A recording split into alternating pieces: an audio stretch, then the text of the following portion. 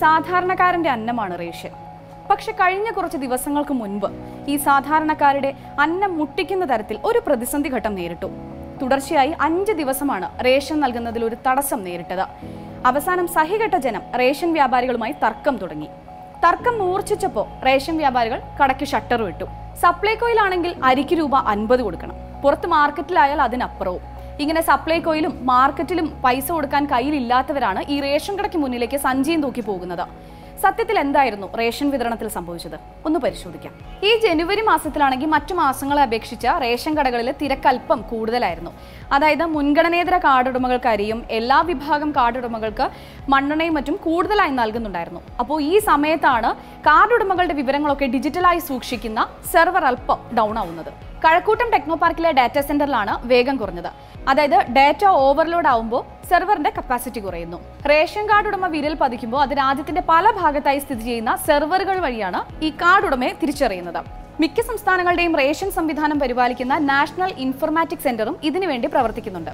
കാര്യം ഇങ്ങനെയൊക്കെയാണെങ്കിലും E post മെഷീന് തകരാറുണ്ടായിട്ടില്ല. പകരം state data സെന്ററിന്റെ വേഗത കുറവാണ് ഈ റേഷൻ മുടങ്ങാനുണ്ടായ കാരണമെന്നാണ് മന്ത്രി ജി ആർ അനിൽ പറയുന്നത്.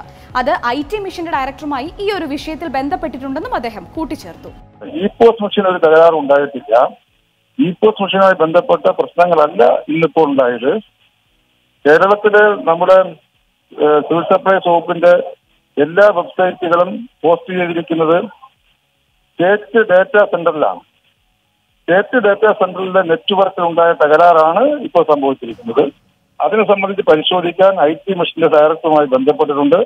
അത് ആ വർക്ക് നടന്നുകൊണ്ടിരിക്കുകയാണ്. എത്രയും വേഗം അത് പരിഹരിക്കും. ആ പരിഹരിച്ചാൽ റേഷൻ വിതരണം സുഗമമായി നടത്താൻ തടസ്സം ഉണ്ടാകില്ല സാങ്കേതികമായിട്ടുണ്ടായ തകരാറാണ് ഉടൻ തന്നെ പരിഹരിക്കുന്നത്. പതിനാലായിരത്തി മുപ്പത്തി ആറ് റേഷൻ കടകളുണ്ട്. അതിൽ തൊണ്ണൂറ്റിയൊന്ന് ലക്ഷത്തി എൺപത്തി ഒരായിരത്തി മുന്നൂറ്റി എഴുപത്തിയെട്ട് റേഷൻ കാർഡ് ഉടമകളുമുണ്ട് ഇവിടെ മന്ത്രി ജി ആർ അനിൽ പറയുന്നത് പ്രകാരം പതിമൂവായിരത്തിലധികം റേഷൻ കടകൾ തുറക്കുകയും രണ്ട് ലക്ഷത്തി അൻപത്തി എണ്ണായിരത്തിലധികം റേഷൻ കാർഡ് ഉടമകൾ ഈ സെർവർ ഡൗൺ ആയിരിക്കുമ്പോഴും അരി വാങ്ങിയെന്നാണ്.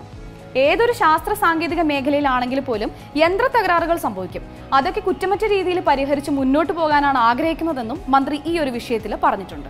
പതിമൂവായിരത്തി അഞ്ഞൂറ്റി നാൽപ്പത്തൊന്ന് കടകൾ ഇന്നലെ തുറക്കുകയും രണ്ട് ലക്ഷത്തി അമ്പത്തെണ്ണായിരത്തി മുന്നൂറ്റി പതിമൂന്ന് റേഷൻ കാർഡ് ഉടമകൾ ഇന്നലെ വൈകുന്നേരം ഏഴ് മണിവരെ ഏഴ് മണിക്ക് ശേഷവും കൊടുത്തതുകൊണ്ട് ഏഴ് മണിവരെ വിതരണം ചെയ്തു. ഏതൊരു രംഗത്തും ശാസ്ത്ര സാങ്കേതിക രംഗത്ത് ആണെങ്കിൽ പോലും ചില തകരാറുകൾ സംഭവിക്കുന്നു കുറ്റമറ്റ രീതിയിലേക്ക് മുന്നോട്ട് പോകണമെന്നാണ് കാണുന്നത്.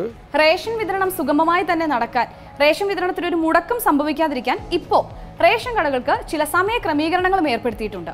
ഏഴ് ജില്ലകൾക്ക് രാവിലെയും ഏഴ് ജില്ലകൾക്ക് ഉച്ച കഴിഞ്ഞുമാണ് ഈ സമയ ക്രമീകരണം. ഈ മാസം ഇരുപത്തിയഞ്ച് വരെ ഇത്തരം നിയന്ത്രണത്തിൽ പോകാനാണ് നിലവിൽ തീരുമാനിച്ചിട്ടുള്ളത്. വികസനപരമായി മുന്നോട്ട് പോകുന്ന കേരളത്തിൽ റേഷൻ കടകളിലും ചില സുപ്രധാനമായ മാറ്റങ്ങളൊക്കെ കൊണ്ടുവന്നിട്ടുണ്ട്. ഇതിനൊപ്പം നമുക്ക് അവയും കൂടി പരിശോധിക്കാം. രണ്ടായിരത്തി പതിനെട്ടിൽ അതായത് നാല് വർഷം മുൻപ് ഏപ്രിൽ മാസത്തിലാണ് റേഷൻ കടകളിൽ ഇ പോസ് സംവിധാനം ഏർപ്പെടുത്തിയത്. അതായത് ഇലക്ട്രോണിക് പോയിന്റ് ഓഫ് സെയിൽ എന്നതിന്റെ ചുരുക്കപ്പേരാണ് ഇ പോസ് സംവിധാനം. ഈ റേഷൻ കാർഡിലൊക്കെ പേരുള്ളയാളെ തിരിച്ചറിഞ്ഞ് കൃത്യമായ അളവിൽ നൽകുന്നതാണ് ഇ പോസ് സംവിധാനം എന്ന് പറയുന്നത്.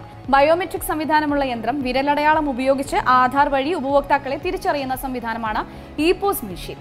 നാല് മാസം മുൻപ് ഇ പോസ് മെഷീനുമായി ബന്ധപ്പെട്ട് ചില പ്രശ്നങ്ങൾ ഉണ്ടായെന്നും അതും പരിഹരിച്ചാണ് ഇപ്പോൾ മുന്നോട്ട് പോകുന്നതെന്നാണ് മന്ത്രി പറയുന്നത്. പിന്നെ എ കാർഡ് പോലെ സ്മാർട്ട് കാർഡ് സംവിധാനം. One India one ration card പദ്ധതിയുടെ ഭാഗമായിട്ട് രാജ്യത്ത് എവിടെ നിന്ന് വേണമെങ്കിലും മുൻഗണനാ വിഭാഗക്കാർക്ക് റേഷൻ മേടിക്കാൻ സാധിക്കും. ഇതിനു പുറത്തുള്ള ചർച്ചകളൊക്കെ ഇപ്പോഴും പുരോഗമിക്കുകയാണ്. കഴിഞ്ഞ വർഷം മാർച്ചിലും സെപ്റ്റംബറിലും ഒക്കെ പലതവണ തകരാറുകൾ സംഭവിച്ചിട്ടുണ്ടെങ്കിലും ഇതുപോലെ റേഷൻ വിതരണം മുടങ്ങുന്നത് ഇത് ആദ്യമായിട്ടാണ്.